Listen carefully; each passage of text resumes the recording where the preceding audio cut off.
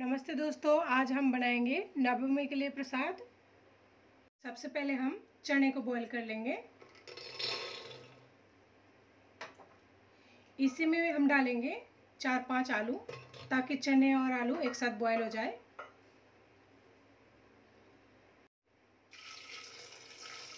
मैं चने को बॉईल करते टाइम थोड़ा सा नमक डाल रही हूँ, ताकि चने में नमक का टेस्ट आ जाए।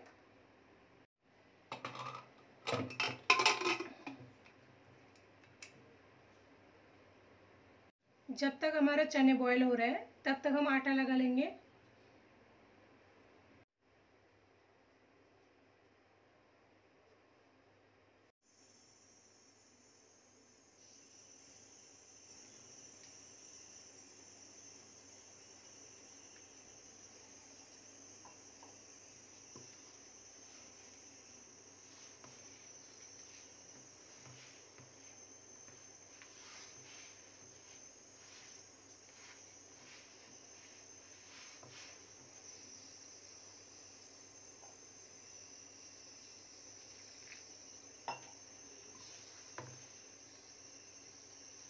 हमारी आटा लग चुका है।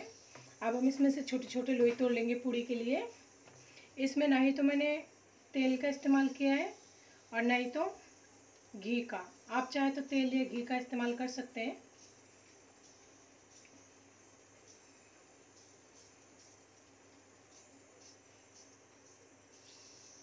और अगर कभी आपका आटा टाइट लग जाता है तो आप उसे 10 मिनट के लिए रेस्ट के लिए छोड़ दें तो आटा थोड़ा सॉफ्ट हो जाएगा।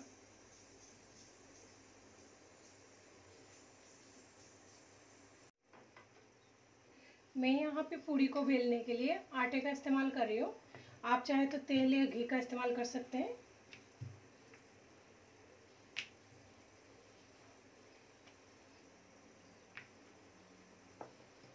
इसी तरह हम सारे पूड़ी को बेल लेंगे। हमारे फ्राई पैन गर्म हो चुके हैं। अब हम इसमें डालेंगे घी।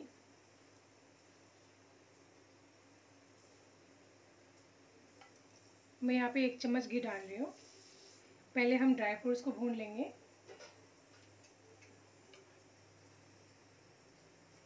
बादाम, काजू,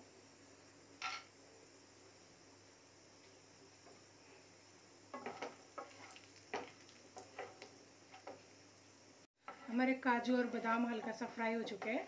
अब हम इसमें डालेंगे किशमिश। किशमिश हम सबसे लास्ट में डाल रहे हैं, क्योंकि ये बहुत ही जल्दी हो जाता है। घिसी हुई नारियल। आप इसमें से जो भी ड्राई फ्रूट्स नहीं खाते हैं, उसे स्किप कर दें।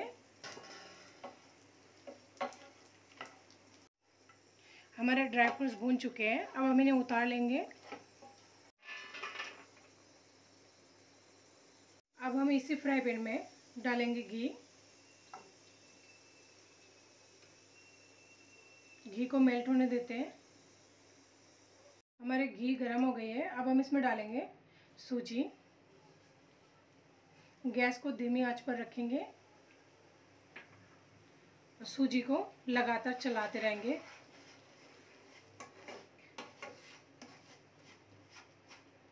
अगर आपको घी कम लग रही है तो आप अपनी आवश्यकता के अनुसार और घी डाल सकते हैं।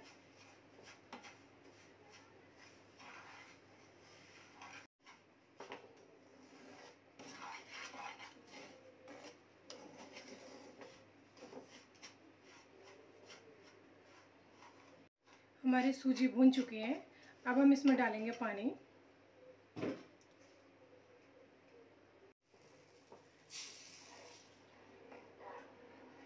पानी को बॉईल होने देंगे।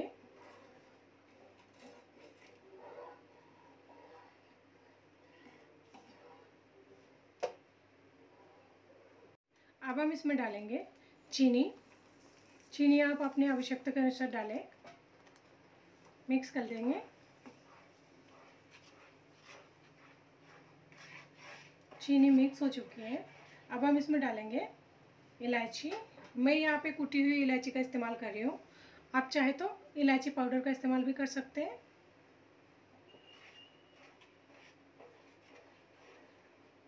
अब हम सूजी को चार मिनट के लिए ढक देंगे।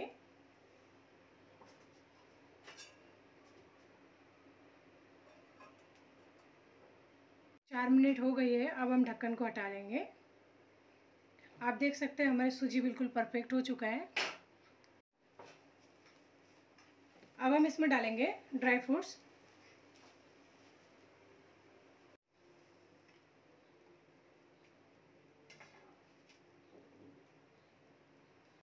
तैयार है हमारी सूजी का हलवा। अब हम इन्हें उतार लेंगे। हमारे कुकर के सीटी निकल चुके हैं। अब हम ढक्कन को हटाकर देख लेंगे।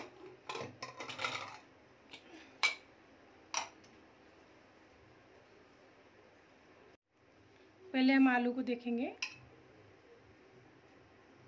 आलू पक चुका है।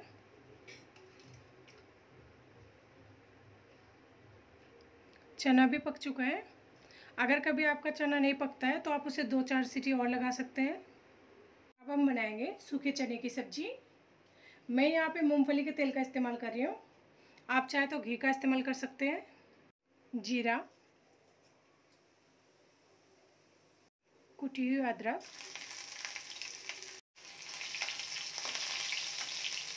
उबली हुई चना। मिक्स कर लेंगे।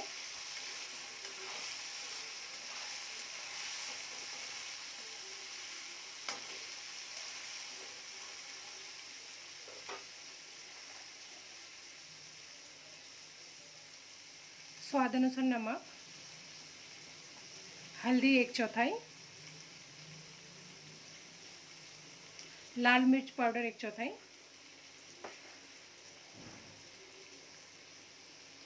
जीरा पाउडर एक चौथाई। मिक्स कर लेंगे अच्छे से। इसमें से आप जो भी मसाला नहीं डालना चाहते हैं, उसे स्किप कर सकते हैं। तैयार है हमारे काले चने की सब्ज़ी। अब हम इसे उतार लेंगे। अब हम बनाएँगे आलू की सब्ज़ी। हमारा फ्राई पैन गर्म हो चुका है। अब हम इसमें डालेंगे तेल। मैं इसमें मूंगफली का तेल का इस्तेमाल कर रही हूँ। आप चाहे तो घी का इस्तेमाल कर सकते हैं। जीरा, घिसी हुई अदरक,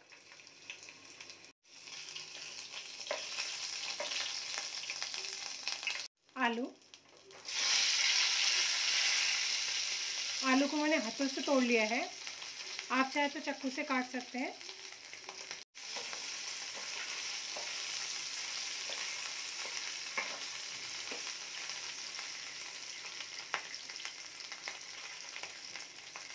स्वाद अनुसार नमक, लाल मिर्च पाउडर, हल्दी पाउडर एक चौथाई, जीरा पाउडर एक चौथाई कर लेंगे।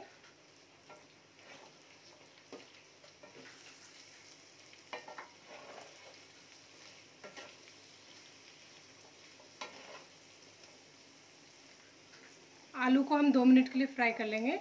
हमारे आलू भून चुके हैं, अब हम इसमें डालेंगे। पानी। आप इसमें से जो भी मसाला नहीं खाते हैं, उसे स्किप कर दें।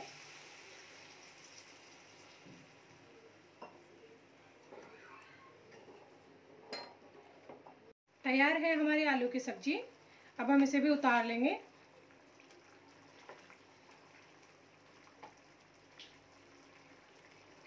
अब हम पूरी को तल लेंगे। मैंने पहले से कढ़ाई को गैस पर रख दिया था। हमारा तेल गर्म हो चुका है, तेल से धुआँ निकल रहा है। अब हम इसमें डालेंगे पूड़ी पूरी को तलते टाइम आप ध्यान रहे। पूरी को किनारे से ही डालना है।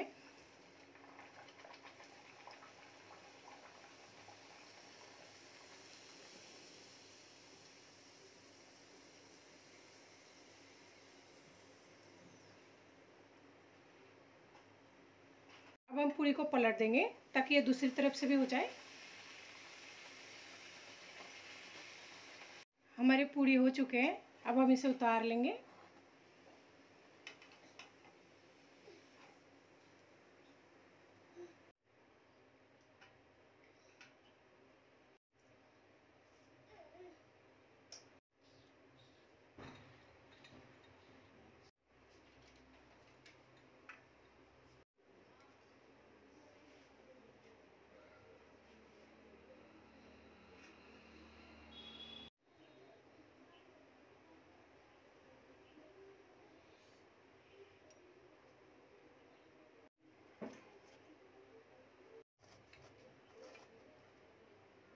तैयार है हमारे माता रानी की थाली।